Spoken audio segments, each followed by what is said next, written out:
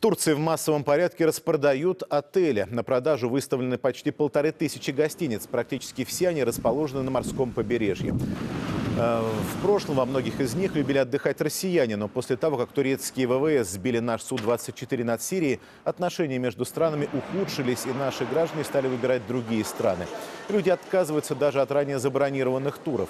В результате сотни отелей, в том числе пятизвездочных, уже несколько месяцев пустуют. Их владельцы на грани банкротства и стремятся избавиться от ставшего убыточным бизнеса.